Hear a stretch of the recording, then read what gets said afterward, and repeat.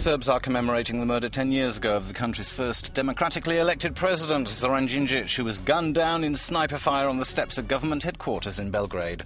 Every March the 12th, supporters hold a walk for Zoran through the centre of the city, laying flowers at Government House and at his grave.